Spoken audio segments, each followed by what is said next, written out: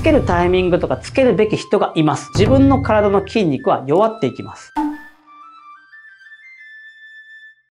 はい、医学療法士の松田啓太です。動画をご覧いただき、ありがとうございます。この動画はですね、腰痛、膝痛、肩こりだったりの1年以上ですね、治療していても全く改善しない、そんな患者さん向けに撮らせてもらっている動画になります。もしですね、痛みの原因がわからずに苦しんでいるのであれば、最後まで見てください。で、今回ですね、何の話かと言いますと、姿勢矯正ベルトの闇ということでお話をしていきたいと思います。もし、あなたがですね、この骨盤のベルトを締めて、あー、腰が楽になる、おーなんか楽になった気がする、だったりとか、猫背でですね、こんな風になっていて、まあ猫背からこう肩の痛みがあるっていう患者さんね。で、こうやってなんか姿勢矯正ベルトでこんな風にやってみましたって言ったらなんかね、楽になった気がするけど腰が痛くなってきたみたいなね。そんな経験をしたことがある。もしくはね、ベルトだったりとか姿勢矯正をやってみたことがある。そんな人であればですね、今日の動画は必見になっています。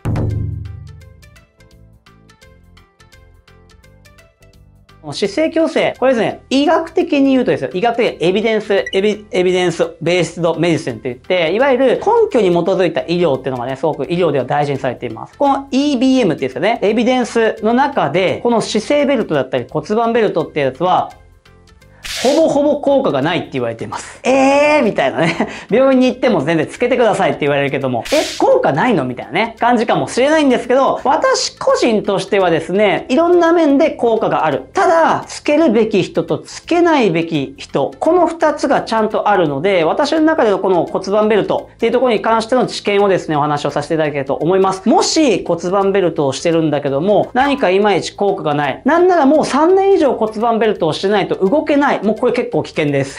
こんな人だったりが見てればですね、ぜひね、この動画見ていただきたいと思いますし、この骨盤ベルトをしようか悩んでる方であれば、必ず見てください。あなたがつけるべきかつけないべきかっていうところはしっかり分かってきますので、ぜひね、この動画最後見ていただくことによって骨盤ベルトの闇、腰痛、肩こりで膝痛にですね、効いてくる姿勢矯正のベルトのですね、話をしたいと思います。ぜひね、最後見ていただければと思います。では、本編行きましょう。はい、ということでですね、ちょっと本編入っていくんですけど、まあ、さっきも言いましたね、エビデンスベースドメディシンって言って、いわゆるこう根拠に基づいた医療、これね、すごく西洋医学というかね、この病院だったりを大事にしています。私も理学療法士として病院で働かせてもらってたんですけど、この EBM があるかどうかってめちゃくちゃ大事なんですよ。私は理学療法士、例えば柔道整復師さんとかになるとまた別かもしれませんけど、病院の中で働いてると EBM があるかないかっていうのはめちゃくちゃ大事にされてます。その中でですよ、書いてあるんですよ。骨盤ベルトの腰痛、まあ、今回腰痛に絞りましょう。骨盤ベルトが腰痛を減らすのかどうかみたいなね、話をしていた時に、ほぼほぼエビデンスレベルっていうのはめちゃくちゃ低いランクになります。え？ー、みたいな。でも病院でつけろって言われますけど、みたいなね、話になるんですけど、これはつけるタイミングとかつけるべき人がいます。逆につけちゃいけないタイミングの人もいるんですよね。で、骨盤ベルト、ね、ここにしていきますよね。骨盤ベルトって、まあ、ここの骨盤にしていく。で、もともと骨盤ベルトってどんな風なイメージなのかって言ったら、簡単に言うと、腰の骨折、いわゆる圧迫骨折だったりがある人であれば、つけた方がいいです。そして、急性期だったりとか、ある程度、この今、怪我をしたばっかりっていう人であれば、つけていた方がいい。ただ、6ヶ月以上つけていても効果が変わらない、わからない人であれば、即刻やめるべきです。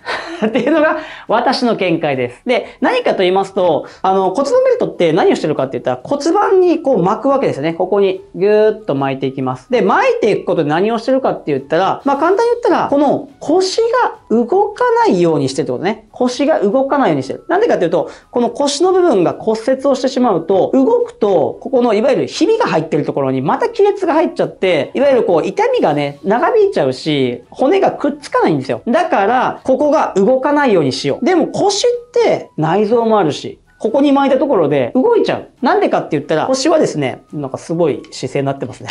あの、すごい姿勢になってるんですけど、腰って何かって言ったら、結果として動いてるだけなんですね。どういうことかと言ったら、腰ありますよね。腰が動く。どういうことかというと、これ骨盤が動くと、いわゆる腰がねじれるんですよ。骨盤が動くとねじれます。もしくは、胸郭、いわゆる上半身がねじれると、この腰椎が動きます。イメージで言うと雑巾をイメージください。雑巾ってこうやってギューって絞ると真ん中がねじれますよね。あんな感じで胸郭と骨盤に挟まれている真ん中の部分が腰椎です。ってことは腰椎が左に曲がる。骨盤が右に回る。そしたらここの腰椎がめちゃくちゃねじれますよね。そうすると動きが出てしまって骨の骨折が長引いてしまったり骨折が治りにくかったりするんですよ。なので骨盤ベルトはいわゆる急性期、いわゆる病院だったりした時に圧迫骨折とかヘルニアだったりとか手術をした時っていう時はここの骨盤からこの胸郭までっていうのが動かないようにするんですよ。いわゆる病院で作るコルセットってめっちゃ長いんですよね。この辺まで来ます。骨盤からこの胸郭の上まで来ます。なんでかって言ったら、胸郭がねじれない、骨盤もねじれない。で、しないと、そもそもこの本末転倒なんですよね。腰椎がねじれないようにするには、胸郭と骨盤がねじれないように動かないようにしないといけない。ですよね。だから、めちゃくちゃ長いコルセットつけます。だからこれはね、いわゆる怪我をしたばかり、急性期の時はめちゃくちゃ必要なコルセットです。これがないと腰椎に負担が来てしまってて、手術した場所が動いてしまって、痛みが強くなる。骨折した場所が痛みが強くなってしまったり、あの、いわゆる下骨形成って言って骨がくっつかなくなってしまう。なので、ここまで長いやつをつけるべき。ただですね、皆さんがつけてる骨盤ベルト、ちょっと思い出してみて。ここまであります？ないですよね。骨盤からおへそぐらいまでしかついてませんか？おへそを中心にってなりますよね。で、よくあるのが患者さん、この腰につけてるんですよ。腰につけてますけど、こんな状態ね。今、イメージ言うと。骨盤ねじったら、中ねじれてますよ。上半身ねじったら、腰ねじれてますよ。これ意味があるんですか？ほぼないです。ですよね。これ意味わかりません、骨盤ベルトっていうものがどういうもんなのかっていう話をしたら、いわゆる胸郭まで覆ってないとそもそも腰椎は守れない。でもここまで長いやつはほぼつけてない。腰だけしか回ってない。これはいわゆる気休めにしかなりません。ですよね。何の意味もないと。なので骨盤だけ、まあ腰の部分だけつけてる腰のベルトっていうのは全く意味がない。で、ちょっと知識がある人は骨盤まで混ざるように骨盤が半分入ってお腹が半分入るようにつけます。実際の骨盤ベルトってやつだね。そうすることで骨盤動かなくなることによって骨盤と胸郭ってとこはねじれない状態ができると腰に負担減りますね。腰と腰椎がねじれないですよね。ねじれない。同じ方向にしか動けなかったら、これ骨盤がどんだけ動こうが腰には負担来ないです。ただ、胸郭がねじれたら一緒じゃないって話になりますよね。そう。なので、不十分ではあります。ですけど、私はね、さっきつけた方がいい人で言うんだったら、急性期を抜けた人、もしくは股関節だったりとか、いわゆる下身から原因で腰が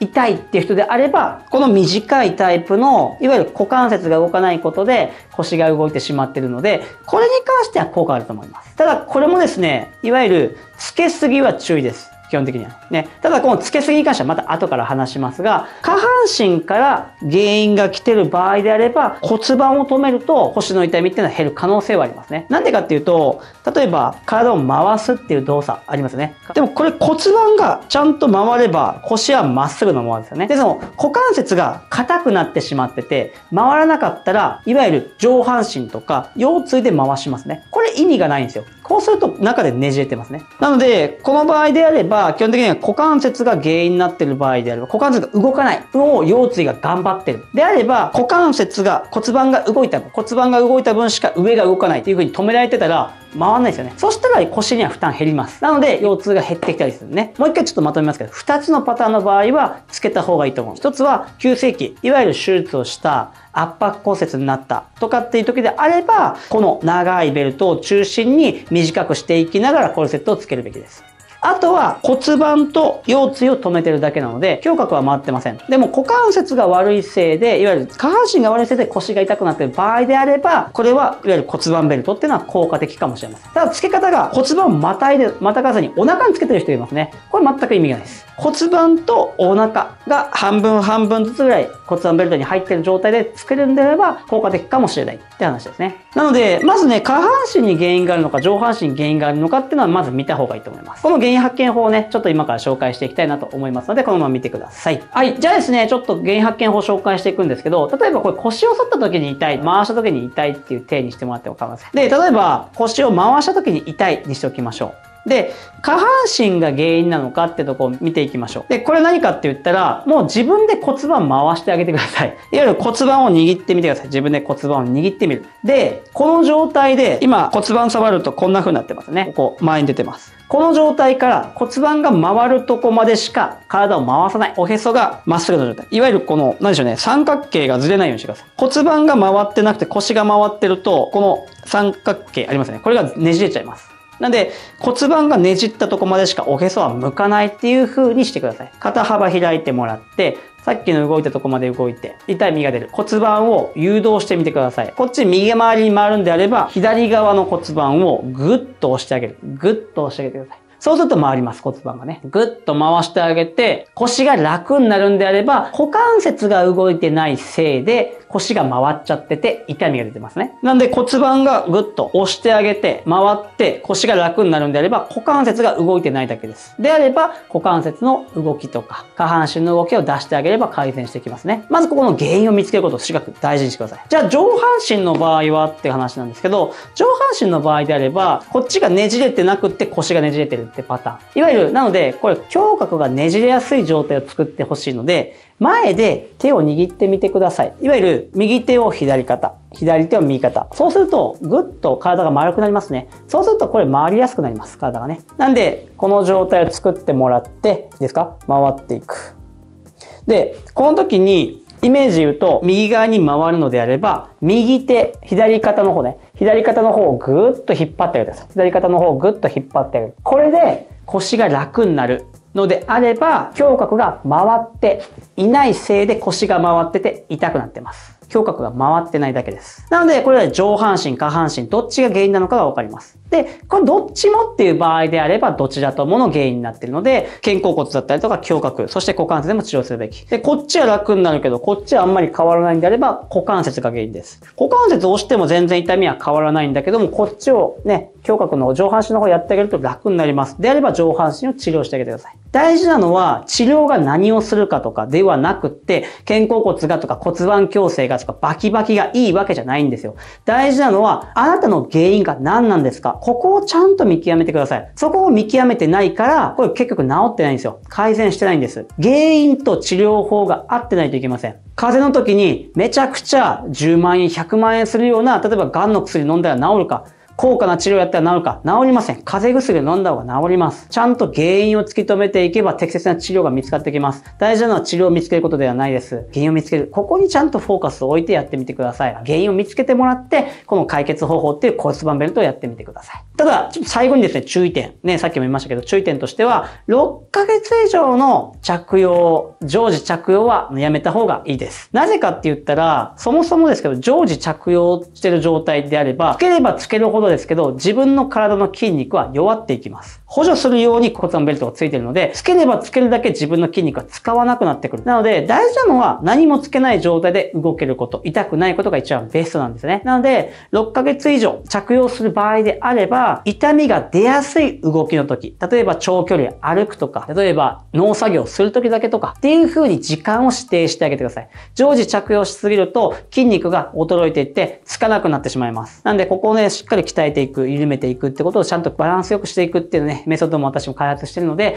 もしね、気になる方であれば、慢性疼痛の専門生態になってますので、ぜひですね、あの、下の方から、概要欄の方からチェックいただければ、ぜひそちらの方もチェックしてみてください。はい、ということでね、今日はこれで終わりにしていきたいんですが、骨盤ベルトの闇ね、本当に色々あったと思うんですけど、悪いものではないです。ただ、着用した方がいい人、しない方がいい人、あとは着用するにしても、ちょっとした注意点を守らないと、どんどんどんどん体が弱ってしまって、何のためのこの人生なのか、何のための着用してるのか、わかんなくなってきます。骨盤ベルトをつけるために生きてるわけじゃないですよね。骨盤ベルトをして楽しいことだったりとか自分の人生を謳歌するためにつけてるはずです。ちゃんとした着用方法、治療方法を見つけてください。そのための原因発見していくためにもこのチャンネル発信してますので、ぜひ今日の動画良かったらチャンネル登録、高評価、コメントいただけるとすごく嬉しいので、ぜひよろしくお願いします。あとですね、あの、さっきも言った通り概要欄の方に店舗の誘導貼ってますので、そちらの方から全国ありますので、ぜひね、そちらの方から店舗の方にもお越しください。では、今日はこれで終わっていきましょう。今日も動画をご覧いただき、どうもありがとうございました。また見てください。はいはいはい。えっと、スタイルはよく見えると思いますけど、あれやるとですね、あの、どうなるかっていうと、スタイルよく見える。なっていくんですけど、あれでどうなってるかって言ったら、この姿勢はほぼ変わってなくって、こうなってるんですよ。いわゆる腰が反ってる感じの人が結構多くて、こうなってるっていう感じです。こう首前に行ってて。もうこれ痺れの原因、腰の痛みの原因になる。あのー、良くないです。ただ、そういうば、たいあの、そういうのが大事な場所があるじゃないですか。ドレスを着るとか。そういう時は俺はもう全然つけていいと思う。TPO だと思いますね。常時つけるんだったらやめた方がいいとは心の底から 言わせていただきたいなっていうふうには思っていますね。はい。